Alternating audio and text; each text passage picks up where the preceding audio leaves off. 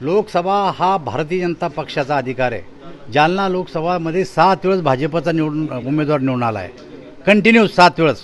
आणि त्याच्या अगोदर दोन वेळेस नऊ वेळेस भाजपशिवाय जालना लोकसभा मतदारसंघ कोणीही लढवू शकत नाही.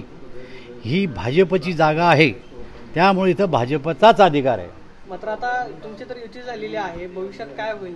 भविष्यात काय दोन्ही आम्ही एकत्र लढू. मात्र ही जागा भाजपची आहे ते तुम्ही किती वेळेस सोडणार सांगू आता? नाही. सोडणार नाही तुम्ही. किती वेळेस सांगू तुम्हाला? ते तर म्हणणार आम्ही मी लोकसभा अरे मी सांगितलं ना तुम्हाला बाबा राजा की इथं भाजपची जागा आहे. कोणत्याही परिस्थितीमध्ये जालना लोकसभा मतदारसंघाचा उमेदवार हा भाजपचा राहील.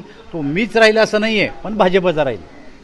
ईडी आता ते म्हणतं ईडी आणि सीबीआय मुळे माझ्यावरती ही परिस्थिती निर्माण झाली. माझ्या चेहऱ्यावरचं दुःख पहा असं ते म्हणतात. ते त्यांना विचारा या विषयात. राज्यामध्ये सव्वीस दिवस झाले सरकार अजून मंत्रिमंडळ विस्तार झालेला तरी पण राज्याच्या प्रश्नाकडं दोघांचंही लक्ष आहे आणि सरकार पूर्ण क्षमतेनं काम करतं आहे आमचं राज्यातलं. अतिवृष्टी असू द्या त्या ठिकाणी देवेंद्र फडणवीस गेले मदतीचे पंचनामे करायचे सांगितले त्यामुळे जनतेकडे दुर्लक्ष नाही आहेत हे जे सरकार स्थापन केले याच्या मागे शिंदेगड फुटला याच्यामध्ये भाजपचा हात आहे भाजपचा बिलकुल हात नाही आहेत आम्ही पहिल्या दिवसापासून सांगतो की आम्ही हे सरकार पाडणार नाही परंतु यांच्या लाथाळ्यामुळे जर हे सरकार पडलं त्याला